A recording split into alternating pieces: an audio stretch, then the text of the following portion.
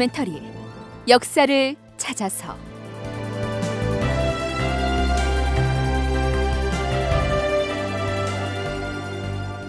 제 295편 최후의 선택 강화천도. 극본 이상락 연출 임종성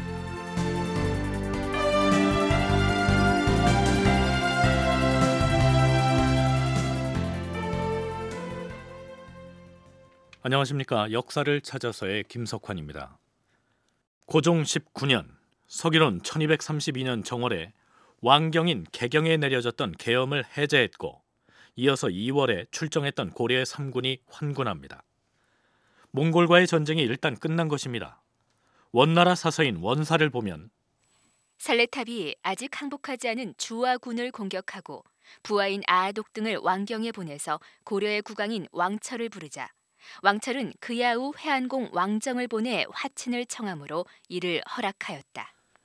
이렇게만 기록하고 있고 신원사에서는 몽골 측에서 많은 공물을 요구하자 고종이 살레탑과 당고, 적거 등의 몽골 장수들에게 금과 은, 의복 등의 물품을 주고 몽골 황제에게 표를 올려서 칭신하였다. 즉 신하를 칭하였다. 이렇게만 기록하고 있습니다. 고려와 몽골 사이에 강화 협정이 체결된 것 같은데 그 내용이 정확히 어떤 것인지 문헌 사료에 나타나 있진 않습니다. 또한 화친이니 강환이 혹은 항복 따위의 어휘들이 두서없이 기록에 나타나는데 쉽게 말해서 양국 간에 어떻게 하기로 하고 전쟁을 끝냈는지를 명확하게 짚어내기가 어렵다는 것입니다. 한편으론 몽골 쪽에서 서둘러 철군을 한 듯한 느낌이 들기도 하는데요. 한국학 중앙연구원 강재광 편찬위원의 얘기를 들어볼까요? 전력을 보강하기 위해서 압록강을 걷는 겁니다. 언제든 쳐들을 수 있게끔. 그리고 어느 정도 몽고는 고려가 그런 요구를 들어주지 않을 거라고 예상하고 있었습니다. 들을 수 없는 조항들이에요. 들어줄 수 없어요. 그렇게 생각을 해보십시오. 그 말 1, 만 패, 2만 패의 그물을 가득 채워라. 국가에 있는 그물을 다 모아도 그렇게 못, 못 채웁니다. 특히 까다로운 거는 대관집, 총각, 처녀 각기 1천 명씩 보내라. 시가 마르죠. 고려 조정의 정1품부터 저기 정9품까지 자식들 다 보내도 그렇게 안 될 겁니다. 그러니 들어주겠습니까? 그걸 말도 안 되는 명분을 만들어 놓고 역으로 전쟁 명분을 만든 겁니다. 그래서 2차 침입이 개시가 되는 거고. 당시의 몽골은 금나라와의 전쟁에 주력하고 있었기 때문에 서둘러 군사를 물리면서 그 대신에 고려가 들어줄 수 없는 터무니없는 물먹과 분량의 공물을 요구함으로써 고려를 다시 침공할 빌미를 남겨놨다. 이러한 얘기입니다. 그렇다면 우리가 제1차 여몽전쟁이라고도 부르고 혹은 몽골의 제1차 침공이라고도 부르는 이 전쟁이 종전된 이후에 양국 간의 관계가 어떻게 변했다고 봐야 할까요? 동아대 김광철 교수의 얘기를 들어볼까요? 1차 전쟁이 끝난 이후 고려는 강화도로 이제 천도를 하고 그걸 이제 그 항몽의 이제 그 기지처럼 이제 하고 있는데 이게 중국 측 학계에서 입장은 어떤 거냐면은 전쟁은 요거 한 번뿐이었고 이것으로서 고려는 몽고에 이제 정복된 것인데 그럼 이후부터 벌어진 전쟁은 뭐라고 이제 해석을 하냐면 그런 전쟁이 아니라 몽고 지배하에 일단 이제 들어가게 되면서 그걸 벗어나려고 하는 저항 운동이다 이렇게 이제 해석할 정도로 요 1차 전쟁의 결과를 아예 이걸 전국 전쟁이 이제 완수된 것으로 보는 그런 시각들이 있습니다. 그러니까 우리 학계에서는 제1차 여몽 전쟁은 양국 간의 강화를 맺음으로써 일단락됐기 때문에 종전된 이후에도 대등한 관계를 유지하다가 강화천도 이후에 몽골이 또다시 침공해서 제2차 여몽 전쟁이 일어난 것이다. 이렇게 보고 있습니다. 그런데 중국 학계에서는 몽골군이 처음 고려를 침공해서 항복을 받아버렸기 때문에 이때부터 고려는 몽골의 점령지가 된 것이고 그 뒤에 벌어지는 여러 차례의 전투는 고려가 몽골의 정복 체제에서 벗어나기 위한 독립운동 같은 성격이기 때문에 2차 여몽 전쟁이니 3차 전쟁이니 이렇게 불러서는 안 된다고 본다는 것이죠. 자, 이 문제는 앞으로 제2차, 3차로 이어지는 전쟁 상황들을 탐색하면서 다시 생각해 보도록 하죠.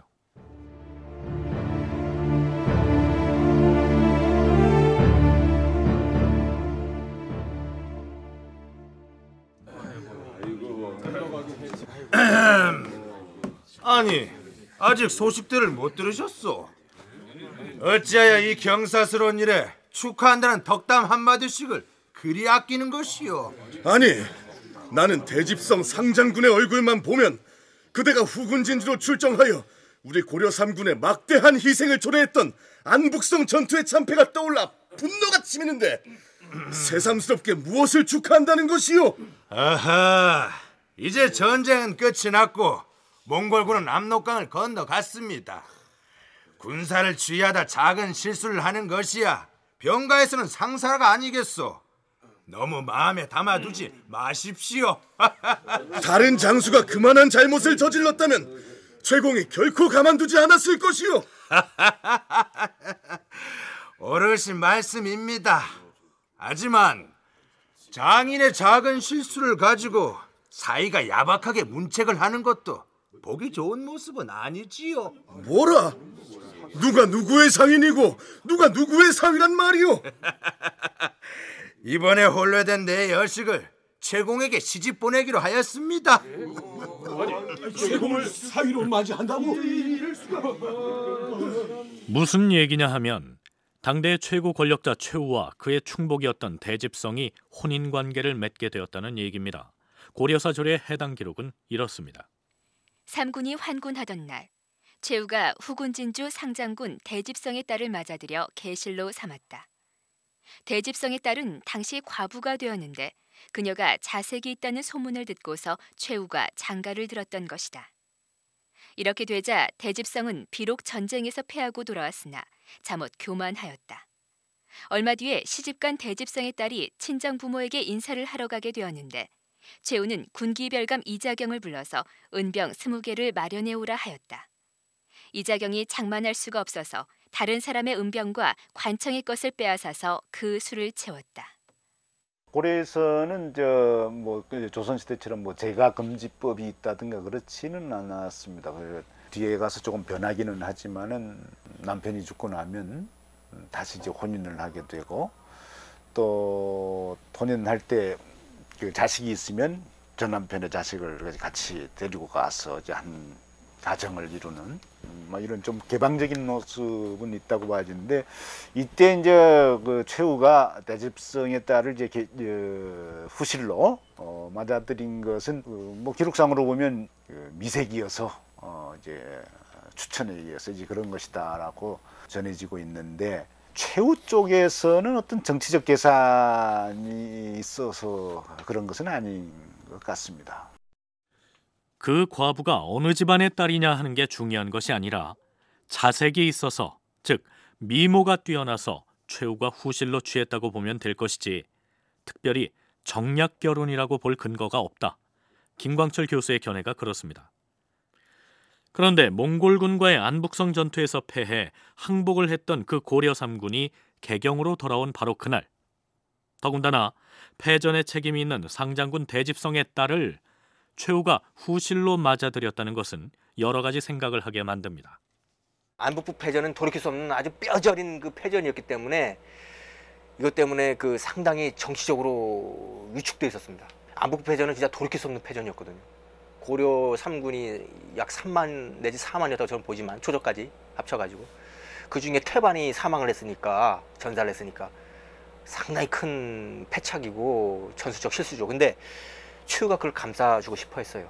그리고 더구나 최후 같은 경우는 12월 초순에는 회원국 왕정한테 모든 외교권을 다 넘겨줘가지고 살레탑하고 외교 협상을 벌이게 하고 한편으로는 구주성 그 박사가 막아주는 가운데 좀 지연시키고 한편으로는 자기는 도망가려고 합니다. 강재광 편찬위원은 고려 조정에서 몽골과의 화의 협상을 진행 중이고 장군 박서는 귀주성에서 결사항전을 하고 있던 그 상황에서 최우는 이미 도망갈 궁리를 하고 있었다고 얘기합니다.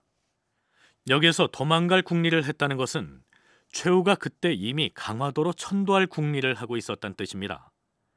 지난 시간에 소개했듯이 고려 3군의 후군 진주였던 대집성은 안북부, 즉 안북성 전투에서 다른 장수들의 만류를 무시하고 혼자서 3군 전체를 이끌고 성 밖으로 나갔다가 참패를 해서 많은 군사를 잃게 만든 장본인이죠. 더군다나 전투 중간에 자기 혼자 성 안으로 도망쳐 들어와 버렸으니 호된 문책을 면할 길이 없었겠죠. 따라서 대집성은 실권자인 최우에게 과부가 된 자신의 딸을 출가시킴으로써 책임 추궁을 피하려 했을 가능성이 있습니다.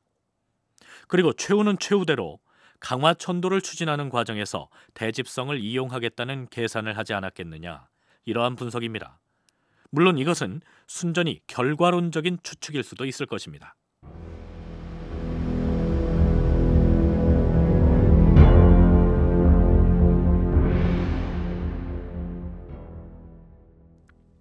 지난 시간 말미에 몽골 사신 도단이 고려 조정에 와서 횡포를 부렸다는 내용을 잠깐 언급했었는데요. 그 내용을 다시 짚어보면 이렇습니다. 왕이 양재궁 별궁으로 거처를 옮기고자 하였다. 그 소식을 도단이 듣고서 자신은 몽골로부터 고려 국사로 파견되어 왔으니 임금이 사는 권례에 들어가서 거처하겠다고 하였다. 조정에서는 이를 난처하게 생각하여 그를 위로할 겸 잔치를 베풀어 주었는데 이번에는 임금과 나란히 앉겠다고 하여 이를 말리자 잔치 자리에 나오지 않았다. 다음 달에 도단은 자신을 접대하던 낭중 민회적이 접대를 잘 못한다며 트집을 잡아서 지팡이로 때려 죽였다. 또한 관사가 적적하다면서 인가로 옮겨 거처하므로 조정에서는 그에게 금으로 만든 술잔 한 벌과 못이 여든 피를 주었더니 그제야 횡포를 그만두었다. 도단은 본래 거란 출신으로 성질이 매우 교활하였다. 바로 이 도단이라는 몽골의 사자가 예전에 장군 박서가 귀주성에서 항복을 하지 않고 끝까지 항전했다는 트집을 잡아서 박서를 죽이려고 했던 인물입니다. 물론 최후가 박서를 빼돌림으로써 박서는 고향인 죽조로 떠날 수 있었던 것입니다. 고려사 저료에는 이 도단이란 인물의 신분을 몽골에서 고려에 파견한 국사라고만 표기하고 있는데 그의 역할을 이해하기 위해서는 원나라 사서인 원사의 다음 구절을 살펴볼 필요가 있습니다. 살레탑은 고려에서 회안궁 왕정을 내세워 화친을 청하자 이를 허락하고 왕경 및 지방관청인 부와 현에 달로 화저 72명을 두어 그들을 감시하게 한 뒤 군사를 이끌고 돌아왔다. 여기에서 달로 화적은 몽골 말을 중국인들이 한자로 표기한 것을 우리식으로 발음한 것이고 몽골식 발음으로는 다루 가치가 되는데 원나라가 고려의 내정을 간섭하기 위해 설치한 민정 담당자라고 보면 될 것 같습니다. 몽골 말로 진압하다 또는 속박하다라는 뜻을 지닌 동사 다루에 명사형 어미인 가를 붙이고 거기에 다시 사람이라는 뜻을 지닌 치를 붙여서 다루가치라고 하기 때문에 굳이 그 뜻을 말하자면 점령지 백성을 진압하는 사람 혹은 속박하는 사람이란 의미가 되겠죠. 이 다루같이 72명을 고려에 남겨두고 갔던 것인데 그러니까 도단이란 인물은 고려 도읍지인 개경을 담당하는 다루가치였다고 볼 수 있겠죠. 장수로서 임무 완수하고 갔고 살레탑은 그리고 그 고려 조정이 의심스러우니까 감시하러 다루같이 자격으로서 오는 겁니다. 이미 북계의 여러 성에는 다 항복했으니까 북계의 여러 성에는 몽고 다루같이 72인이 분산 배치되고 있었습니다. 이때. 고종 19년 2월부터 계속 분산 배치가 되고 있는 겁니다. 그리고 개경에도 누가 감시를 해야죠. 서경은 고, 고려 왕도 아닙니까? 서경은 별도고 거기도 굵직굵직한 다루가치를 와가지고 감시하는 체제입니다. 이 도단이라는 놈이 다이가 개경의 다루가치는 또 다른 작은 성은 다루가치와 다르잖아요. 정치적 위상이 어, 왕 정도 드는 지는 비록 민정관 행정관이지만 고려 왕의 버금가는 그걸로 생각을 했을 거라고요. 그러나 이 도단이란 몽골 사자는 얼마 있지 못하고 돌아갑니다. 고종은 통사 지의심과 녹사 홍거원을 귀국하는 몽골 사신들과 동행하게 하는데 이때 고려의 고종이 몽골군 원수 살레탑에게 전화하면서 써준 편지의 내용은 이렇습니다. 지난번 회안궁 왕정이 몽골 측으로부터 받아온 편지를 보건대 우리 고려의 백성을 선별해서 몽골의 계주관과 선성산 밑으로 이주시킨 다음 농사를 짓도록 하겠다는 내용이 있었기에 그에 대해 답하겠소. 귀국에서 땅을 분양하여 우리 백성들로 하여금 농사를 지어 먹게 하려는 것을 생각하니 그 정의는 감사하오. 그러나 우리나라는 이번 전쟁으로 도처에서 많은 사람이 죽고 가축의 손실이 심하였기 때문에 본국에 있는 얼마 안 되는 땅도 다 경작하지 못하여 무성한 풀밭이 늘어가는 실정이요. 이런 터에 하물며 머나먼 귀국의 경내까지 파견하여 농사지을 백성이 어디 있겠소? 감당하지 못할 일을 도리상 억지로 시키기는 어려우니 이해해 주기 바라. 몽골로서는 자신들이 이미 고려에 대한 정복을 완료했기 때문에 고려의 백성들을 데려다가 농사짓는 노비로 부리는 데 아무런 문제가 없을 거라고 판단하고 사람을 보내라 했던 것인데 돌아오는 답장을 보니 우리도 일손이 모자라 땅을 놀릴 판인데 몽골에 농사 지으러 갈 사람이 어디 있느냐 이런 식이었으니 화가 났겠죠. 게다가 고려와 화친 조약을 맺을 때 보내라고 요구한 곡물에 대해서는 이 고려의 고종이 전에 몽골 측에서 요구했던 물건들에 대해서는 차후에 회보를 하겠으니 기다리시오. 이렇게 대답하고 있습니다. 요구했던 물건들을 성의껏 준비해서 보내주겠다는 얘기가 아니라 나중에 답장을 보내서 의견을 말하겠다. 이러한 식으로 대응하고 있는 것이죠. 살레탑으로선 우라같이 밀었을 것입니다. 뭐라? 농사지을 백성도 못 보내겠다. 보내주기로 한 곡물에 대해서는 나중에 회부하겠다. 이런 교만한 자들이 있나? 여봐라!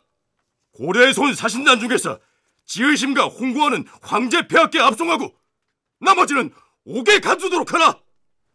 그런데 그 기사 바로 뒤에 다음과 같은 내용의 기록이 보입니다.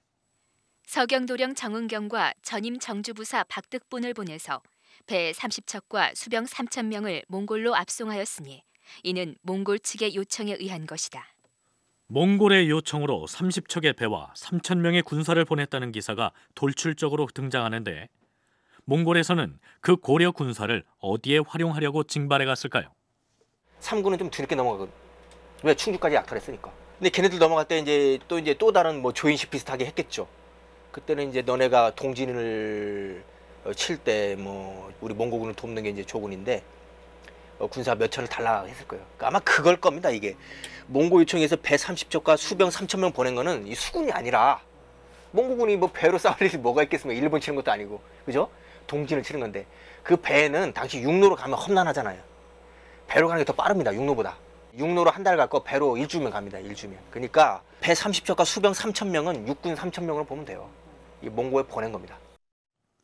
강제광 편찬위원회 추론에 의하면 고려 땅에서 가장 늦게 철군을 한 몽골의 제3군이 청주 등지에서의 약탈을 끝내고 개경으로 왔을 때 살레탑의 본진과는 또 다른 조약 비슷한 것을 고려 조정과 체결했을 가능성이 있는데 그게 바로 몽골이 동진을 정벌할 때 군사적으로 지원을 한다는 조군 협약이었을 것이고 그 협약에 따라서 배 30척과 군사 3천 명을 보냈을 것이다. 이러한 얘기입니다. 물론 어디까지나 추정하자면 그렇다는 얘기고 또한 고려군 3천 명을 지원받아서 몽골이 수행했던 전쟁 대상국이 동진이 아니고 금나라일 수도 있습니다. 그렇다면 제1차 여몽전쟁을 정리하는 의미에서 도대체 몽골군이 왜 고려를 침공했던 것인지 그 목적이 어디에 있었을까를 생각해 보도록 하겠습니다. 동아대 김광철 교수는 그 목적을 세 가지로 나누어서 설명합니다.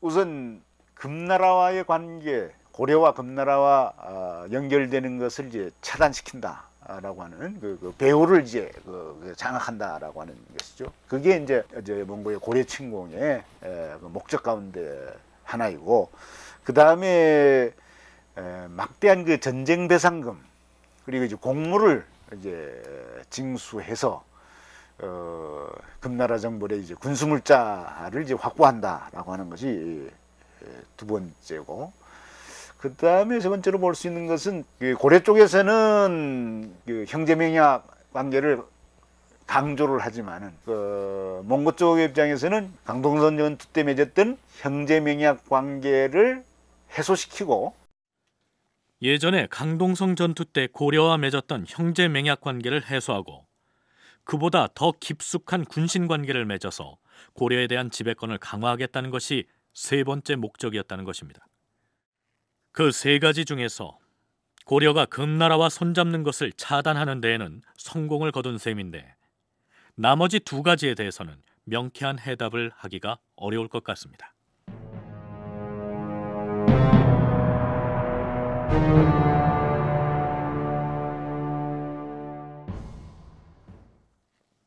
몽골군이 일단 고려에서 철군했지만 언제 다시 쳐들어올지 모르는 상황이었기 때문에 고려 조정에서는 그들을 방어할 계책을 궁리하는 한편으로 몽골과 가급적이면 좋은 관계를 유지하기 위해서 외교적 노력을 게을리하지 않았습니다.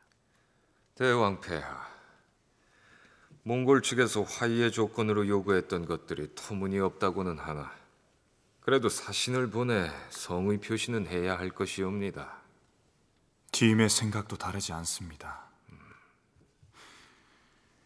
그렇다면 누구를 사절단의 대표로 보내는 것이 좋겠습니까? 몽골 쪽에서 호의를 가지고 있는 인물이 좋을 것입니다. 조숙창을 사절단장으로 삼는 것이 좋겠사옵니다. 그러면 그리하도록 하시지요, 최공. 여기에서 몽골에 갈 사절단의 단장으로 뽑힌 조숙창은 처음 살레탑이 압록강을 건너 쳐들어오자 일찌감치 함신진을 내주고 그들의 앞잡이 노릇을 했던 인물입니다. 여름 4월에 상장군 조숙창 등을 몽골에 보내서 표문을 전하고 각종 옷감과 금은으로 장식한 주전자와 수달피, 그림 부채 등을 주었다. 그런데 이때 고종이 몽골 측에 보낸 표문이 바로 몽골에서 요구한 공무를 다 거쳐 보낼 수 없는 이유를 해명하는 내용입니다. 먼저 몽골 측에서 걸핏하면 수천 장씩 보내라고 요구하는 수달피에 대해서 고종은 이렇게 얘기하고 있습니다. 지난번 편지에서도 황제에게 보내는 물품 가운데 수달피 천 장을 좋은 것으로 골라 준비하라 하였는데 우리 고려에서는 몽골에서 요구하기 이전까지만 해도 수달리라는 짐승을 잡은 적이 없었소. 헌데 귀국에서 요구한 뒤부터 온갖 방법을 다하여 잡았으나 많이 잡을 수가 없어 매번 보내지 못하였던 것이요. 그동안 사방으로 탐색하여 몇 마리씩 잡아모은 수달피 977장을 보내니 그리 알기 바라오. 그 다음 왕실의 자손과 대관의 집 처녀를 보내란 요구에 대해서는 무엇라고 대꾸했을까요? 국왕과 왕실의 종친, 공주, 그리고 군주와 대신들 자제로서 처녀 총각 천 명씩을 보내라 하였는데 우리 고려의 법령에는 제 아무리 지위가 높은 임금이라 할지라도 오직 한 사람의 정실이 있을 뿐이요 잉첩을 두지 못하게 되어 있기 때문에 왕실의 자손이 번성하지 못하였어. 또한 나라가 작기 때문에 정부의 대신도 그 수가 많지 않고 그들 역시 한 사람에게만 장가를 들기 때문에 자녀가 없는 경우도 허다하며 있다 할지라도 그 수가 많지 않소이다. 만일 이 적은 인원을 귀국에 보낸다면 누가 왕위를 이을 것이며 또한 누가 정부 관리의 직책을 계승할 수 있단 말이오. 만일 귀국이 우리나라를 보호하여 영원한 우호 관계를 유지하게 하려거든 지역이 좁은 나라에서 감당할 수 없는 요구 조건을 삭감해 주어야 할 것이며 고려에서는 몽골 측의 과도한 곡물 요구에 대하여 그것들을 들어줄 수 없는 이유를 더러는 단호하게 혹은 예의를 갖추어서 설명하고 있는 것입니다.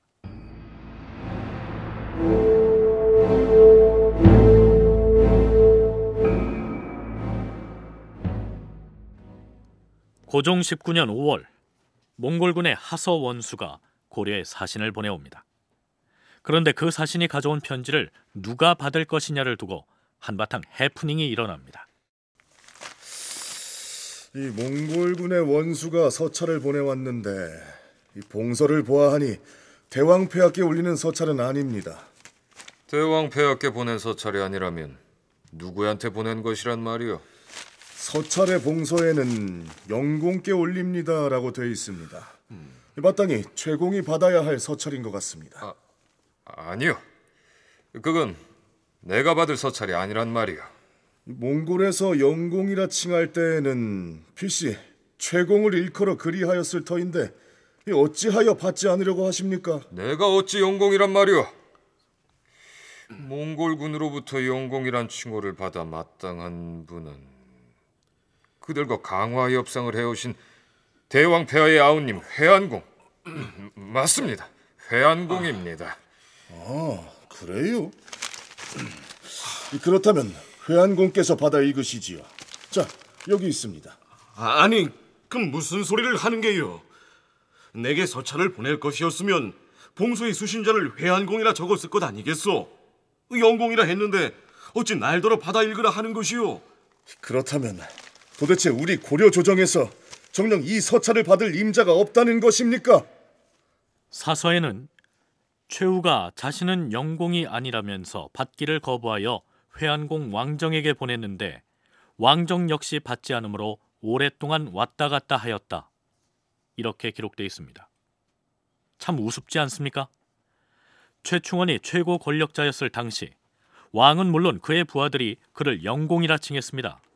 따라서 몽골군에서 영공께 올린다는 서찰을 보내왔다면 당연히 최고 권력자인 최후에게 보낸 서찰이었겠죠. 그런데 최후는 한사코 자신에게 온 편지가 아니라면서 사양하고 있습니다. 막강한 1인 독재 체제를 구축하고 있던 권력자 최후가 갑자기 겸손해진 걸까요? 숙명여대 박종진 교수와 서울시립대 이익주 교수의 얘기를 차례로 들어보시겠습니다. 최씨 정권에 만들어진 관청 중에 교정도감이라는 게 있거든요. 이 교정도감의 대표 기관장이라고 할 수 있는 사람이 그 교정별감이 있는데 이 최씨 집정자들이 그 세습을 하면서 이 교정별감직도 이제 이어봤거든요. 그러니까 그 최후나 뭐 그 뒤에 최항이나 그런 사람들이 계속 교정 별감직을 받는데 이런 교정 별감직이 사실은 이제 집정자의 지위를 상징하는 그런 명칭이 되는데 그때 그 영공이라는 그런 명칭도 역시 이제 그와 같이 쓰이는 것 같아요. 그러니까 실제 실제로는 그 몽골이 이제 이 최후를 영공이라고 표현을 했던 거는 네가 결국은 최고 집정자다 하는 그런 의미를 이제 가진 건데 어, 그 당시 최우가 실제 권력을 장악하고 있었고 어, 국왕은 실권을 갖고 있지 못한 상태였습니다. 몽골에서 어, 이런 사실을 파악을 한 거죠.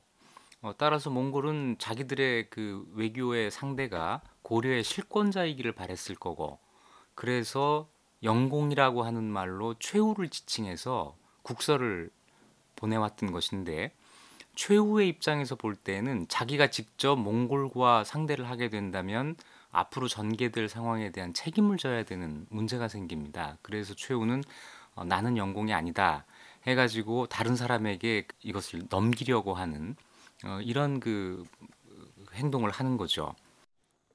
의당 최후가 받아야 할 서찰이었는데 몽골 쪽에서 고려 조정의 권력을 대표하는 사람의 의미로 지칭하는 그 영공이 자신이라고 한번 인정을 해버리면 이후 몽골과 관계되는 모든 일을 자신이 책임지게 될 것이 두려워서 한사코 받기를 꺼려했다는 얘기입니다. 그렇다면 그 서찰은 어떻게 처리됐을까요?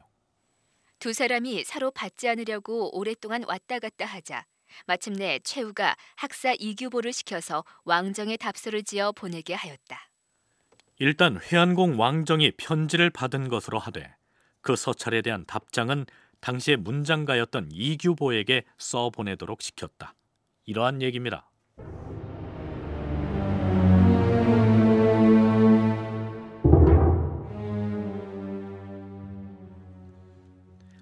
자, 그럼 이제부터는 도읍을 강화도로 옮기는 문제, 즉 강화천도의 과정을 차근차근 짚어 나가도록 하겠습니다. 강화천도에 관련된 기사가 처음 보이는 때는 고려와 몽골 간의 전쟁이 한창 진행 중이던 고종 18년 서달입니다. 이때는 이미 몽골군의 포도, 적거, 당고가 이끄는 군사가 개경으로 내려와서 도성을 포위한 상황이었습니다. 최공, 소인 승천부 부사 윤인과 녹사 박문희입니다. 무슨 일이냐? 들어 들어와서 고하라. 예.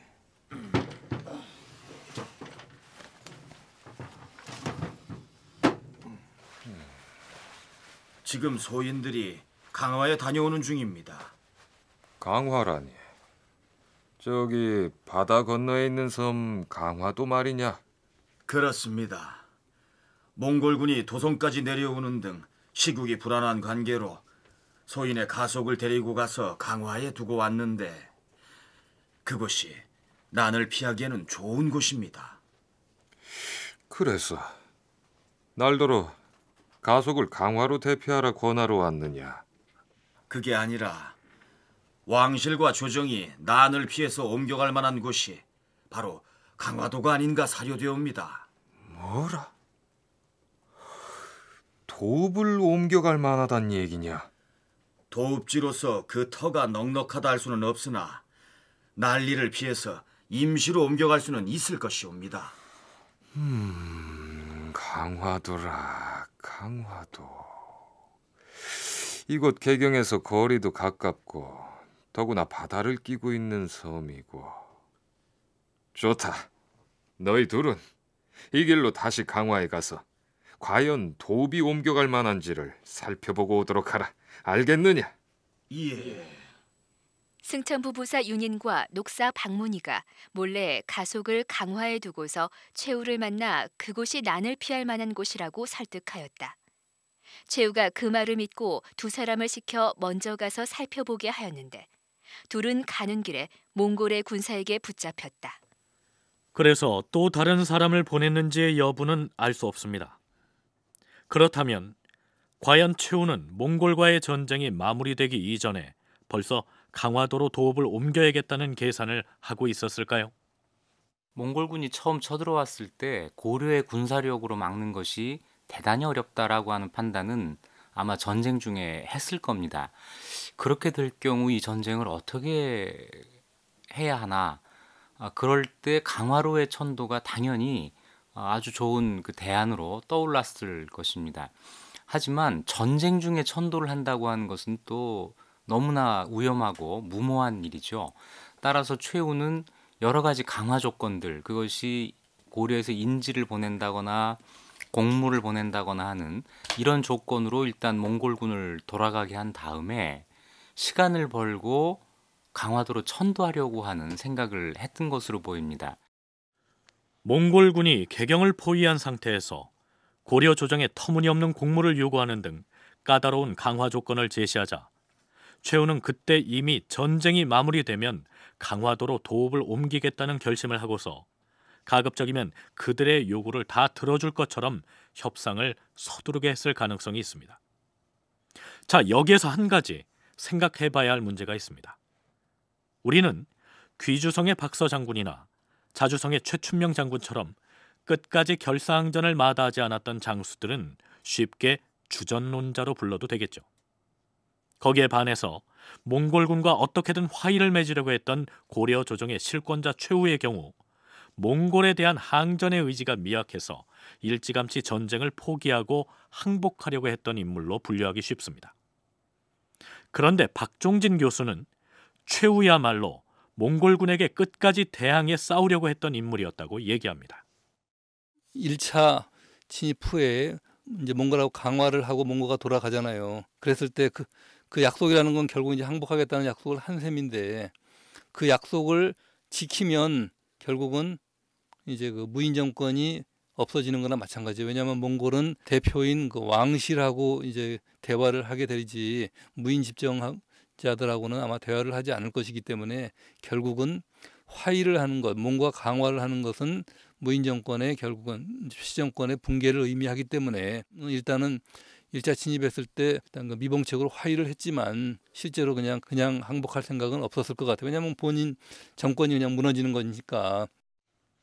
만일 고려가 몽골군에게 완전히 굴복하여 몽골의 지배하에 복속돼 버린다면 몽골 측은 고려의 왕을 상대로 해서 고려를 지배하려고 하지 최후 같은 비정상적인 권력자를 파트너로 삼아서 정복지를 다스리려 하진 않았을 것이기 때문에 고려가 몽골에 항복을 하는 순간 최씨 무신 정권은 망하게 된다는 얘기죠.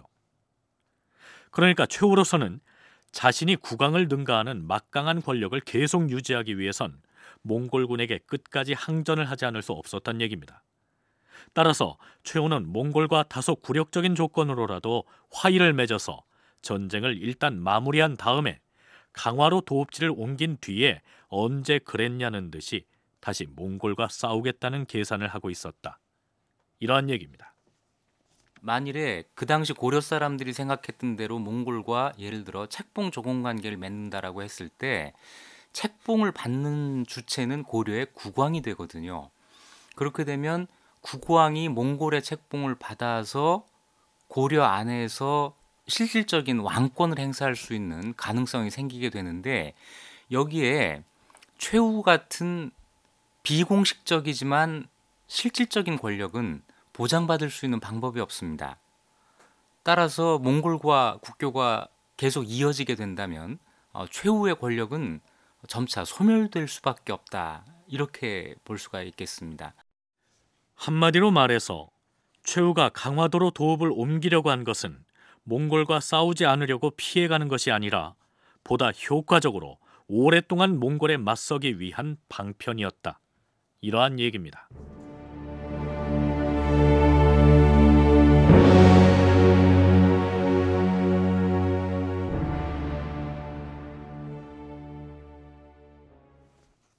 (1차) 여몽 전쟁이 끝나자 이제 공식적으로 천도 문제가 논의됩니다.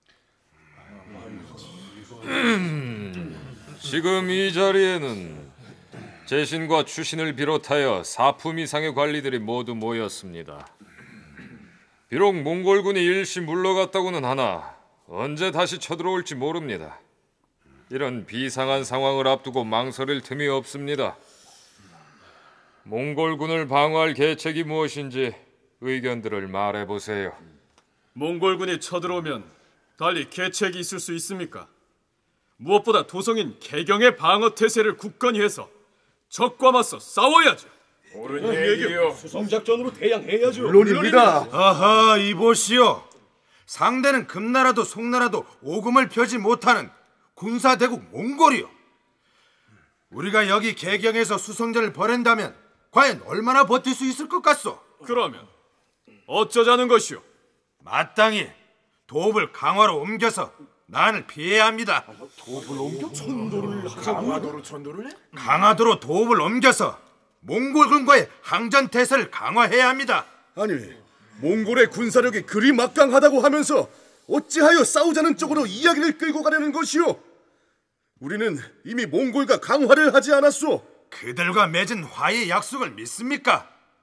강화도로 천도해서 방어 태세를 갖추는 것이 유일한 살 길이요. 그래도 도성을 버리고 섬으로 가는 것은 아니 될 말이오.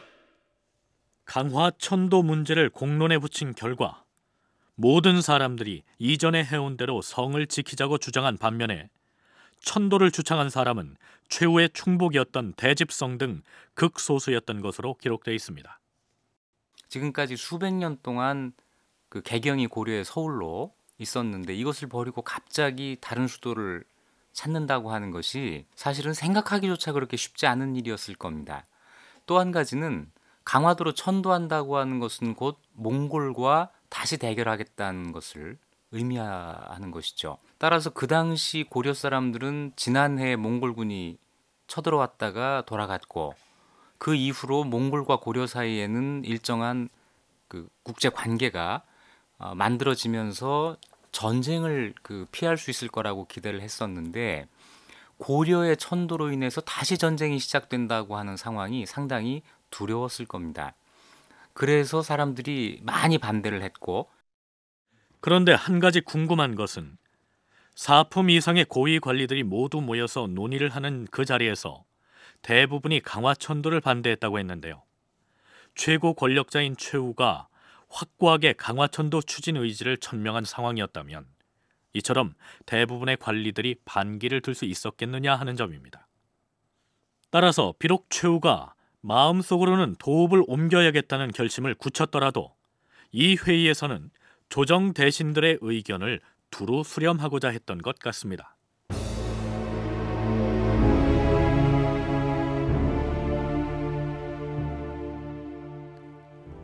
그런데 천도 문제를 두고 논란을 하고 있던 이 시기에 최후는 한 가지 특별한 조치를 내립니다.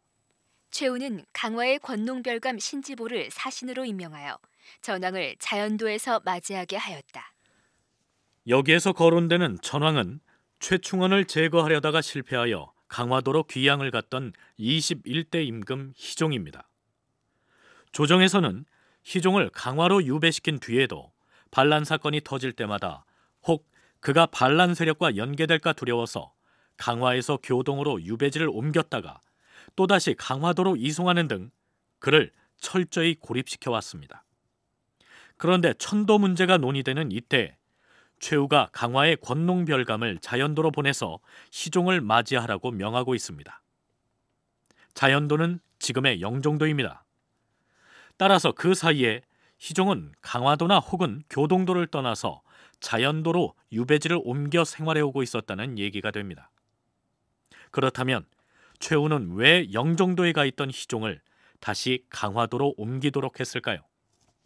결국은 이제 왕을 강화도로 데리고 오는 거겠죠. 왜냐하면 이제 수도를 강화로 옮기겠다고 하는 얘기는 다른 데는 책임을 질 수가 없다는 얘기가 될 테니까 그랬을 경우에 이제 결국은 이제 강화를 제외한 다른 지역들은 다 몽고군이 마음대로 할 수 있는 그런 여지가 있겠죠. 몽고군이 내려왔을 때는 이제 그러니까 결국은 만약에 이 시종이 전황이 포로가 되면 그건 참 처리하기가 어렵겠죠. 그건 그 저쪽에서 이제 이용을 할 테니까 이제 그런 것을 피하기 위해서 일단은 강화도로 데려온 게 아닌가 생각이 돼요. 그래서 사실은 지금 시종능이 강화에 있죠. 만일 도읍을 강화로 옮긴 상황에서 희종이 지금의 영종도에 해당하는 자연도에서 유배 생활을 하다가 몽골군 휘하로 넘어가기라도 한다면 몽골 측에서 희종을 고려 왕으로 옹립함으로써 강화도에 있는 왕실을 무력화시켜 버릴 수도 있다는 얘기죠. 바꿔 말해서 이때 최후가 자연도에 가 있던 희종을 강화도로 압송하게 했다는 것은 강화천도에 대한 의지를 확고히 다진 상태였다. 이런 의미가 되겠죠.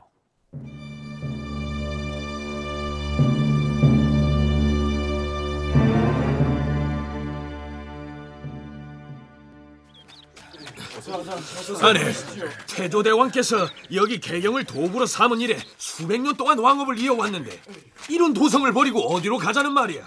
에휴, 그러게 말이야. 웅장한 궁궐과 좋은 집들을 다 비우고 작은 섬으로 들어가서 어찌 살 수 있겠어?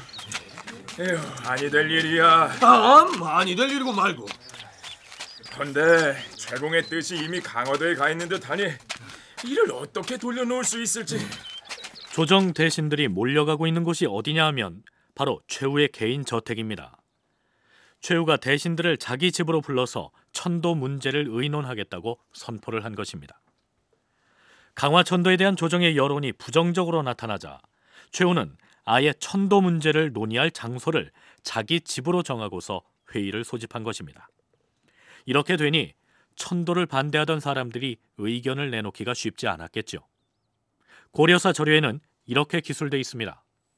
최후가 제신과 추신들을 자신의 집으로 모아서 천도할 일을 논의하였다. 이때 고려는 이미 국가가 태평한 지 오래되어서 경도의 호수가 10만에 이르고 단청한 기와집들이 즐비하였으며 사람들도 자신의 거처를 편안하게 여기고 천도를 곤란하게 생각하였으나 최후를 두려워하여 감히 말을 꺼내는 자가 없었다. 여기에서 경도, 즉 고려의 수도였던 개경의 호수가 10만 호라고 돼 있는데 정말 개경에 10만 호에 해당하는 인구가 거주했을까요? 10만 호라고 되어 있습니다. 한 호당 인구를 4명으로만 잡더라도 개경 인구가 40만 명이었다고 하는 그 결론이 되는데요. 그 당시 인구 40만의 도시가 있었다고 하는 것이 참 믿기 어려운 사실이긴 한데 아 그래도 아주 지나친 과정은 또 아니었을 것이다. 왜냐하면 요즘하고 다르게 고대나 중세에는 그 도시에 특히 그 수도에 많은 인구가 모여 사는 어, 그런 상황이었을 거기 때문에 아마 10만 호라고 해도 많은 과장은 아니었을 거라는 생각이 듭니다. 수도에 인구가 집중되었던 당시의 상황을 감안하면 개경의 호수가 10만 호였다는 기록은 일정 부분 과장이 있지만 지나치게 부풀려진 것은 아니라는 것이 이익주 교수의 견해인데요. 박종진 교수는 그러한 정황을 인정한다고 해도 10만 호는 과장이 심한 기록이라고 얘기합니다. 개경의 인구와 관련해서 기록에 지금 10만 호 있었다 하는데 그거를 지금 이제 그 적극적으로 해석하는 분들은 그게 그래서 1호당 5명에서 50만 명이 살았다 그렇게 얘기를 하는데 저는 좀 그거는 과장됐다고 볼 수밖에 없어요. 지금 그 개성 그 나성하고 그 주변까지 포함을 하더라도 만약에 거기에 50만 명이 산다면 지금 서울의 인구 밀도하고 비슷하다고 하거든요. 근데 그거는 사실은 불가능하다고 저는 보고요. 그게 10만 명 정도도 사실은 적은 수가 아니거든요. 왜냐하면 조선 건국 후에 이 한양 인구가 10만 명이 된 것도 상당히 이후의 일이거든요. 이제 그런 의미에서 10만 호, 50만 명, 전 그거는 하여튼 저는 인정을 하지 않습니다. 10만 명이라면 모를까 10만 호라는 기록은 인정할 수 없다는 것인데 글쎄요. 이 부분은 연구를 더 해봐야 할 것 같습니다.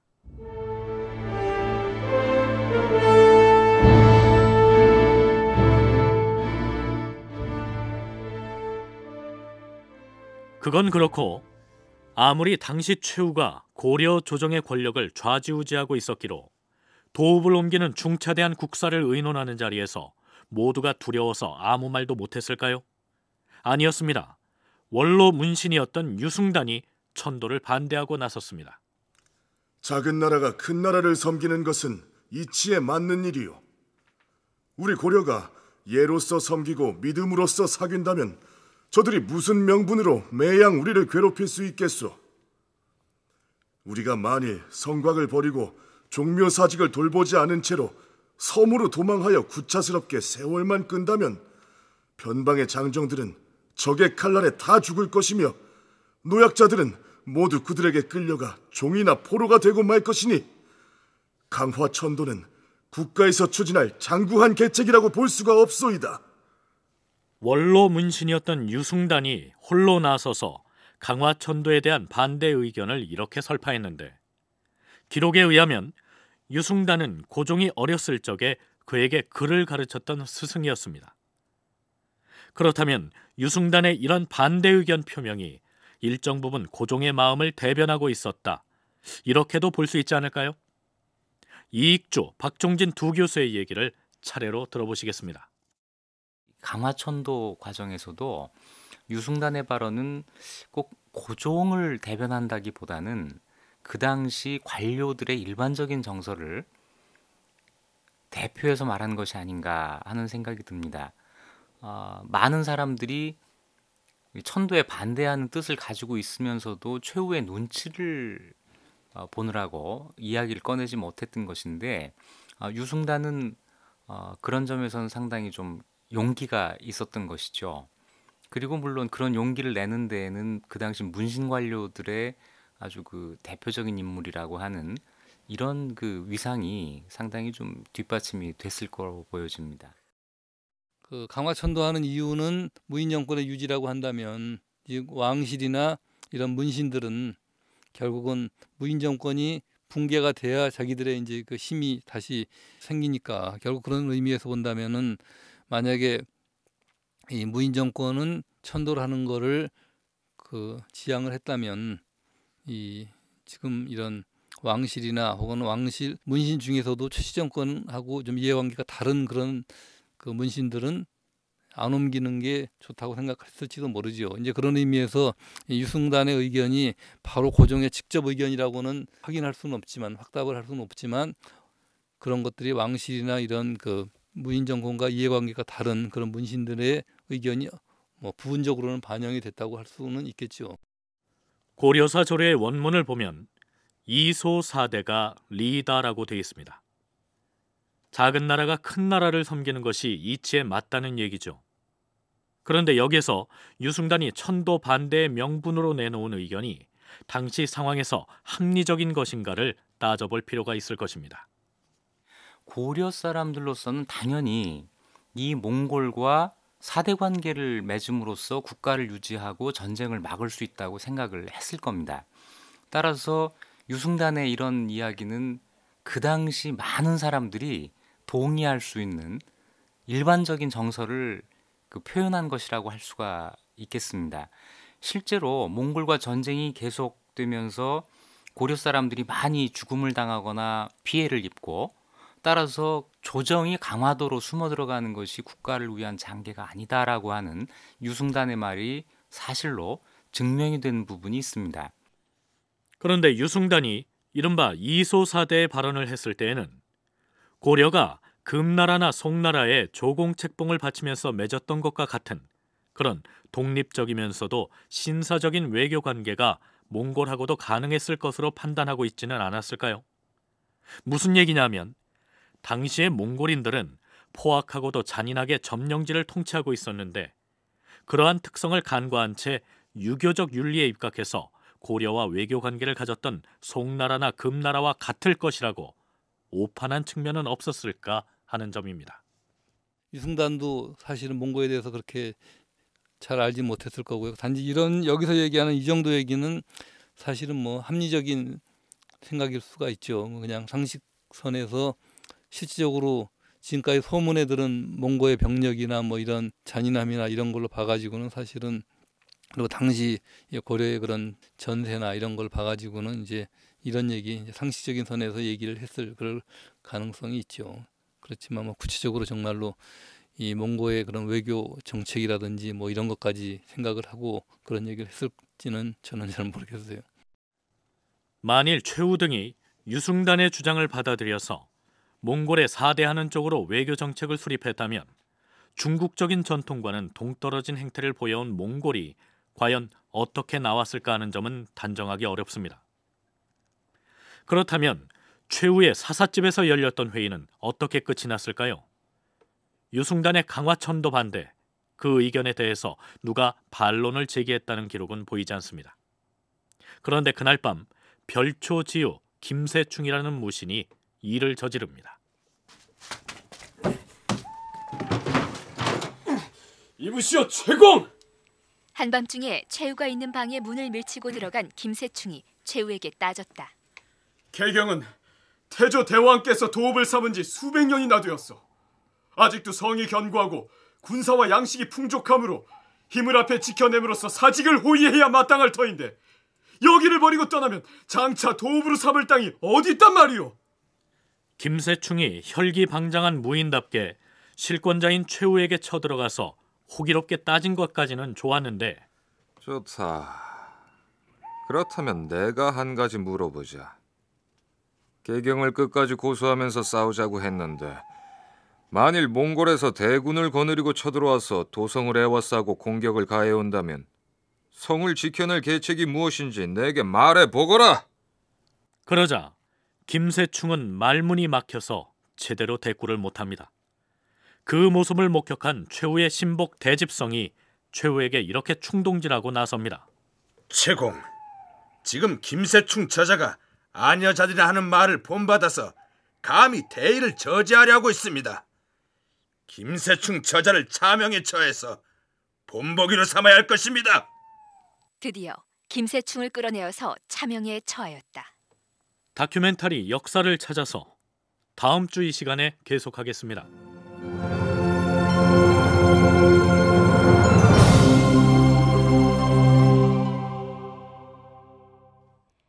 출연 김두용, 임정길, 윤호, 김상백, 이찬우, 배정우, 이희탁, 조연철, 한복현, 백경훈 낭독 안창희, 해설 김석환 음악 박복규, 효과 안익수 신연파, 기술 이현주